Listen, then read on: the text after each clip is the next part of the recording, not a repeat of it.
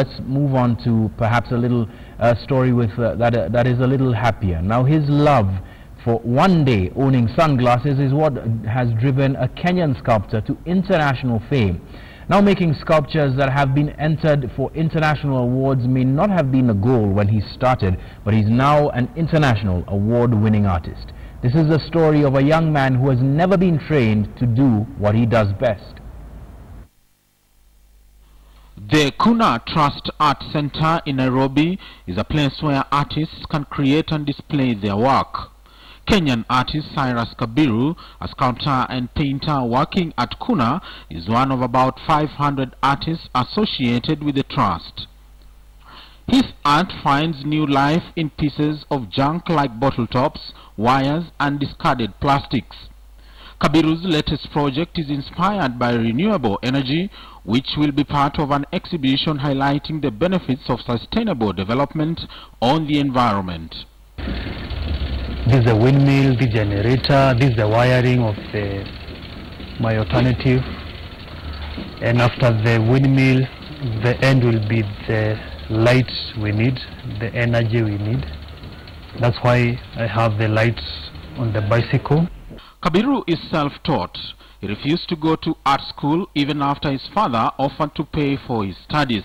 The artist says he wanted to forge his own path and didn't want his vision to become influenced by teachers and other people. He is famous for his elaborate C-Stunners, a unique range of eyewear. Kabiru says as a child he wanted to own a pair of glasses and his father told him to make some for himself.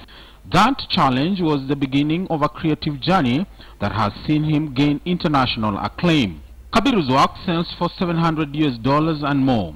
He says many Kenyans still shy away from buying his art because they can't afford it. His clients are mostly tourists and expatriates looking for souvenir pieces. He's full of fantasy. He uh, and he makes the work in a very, very special fine art. Um, and he's not nothing to um, reprint. I don't sell my work, but my work sells itself. Yeah. So if you have something good, people will accept it. So there's no need of me selling. I let you just let them, let my work sell itself, which is which is like it's giving me it's giving me a chance to think.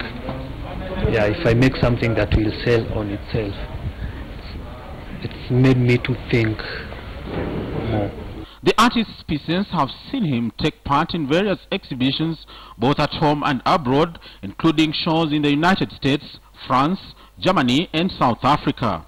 He was one of six Kenyan artists selected to take part in the prestigious Pan-African Barclays Tour art competition in July this year in South Africa. Kabiru is also a TED 2013 fellow. In another level, which I'm working hard to go to be on it.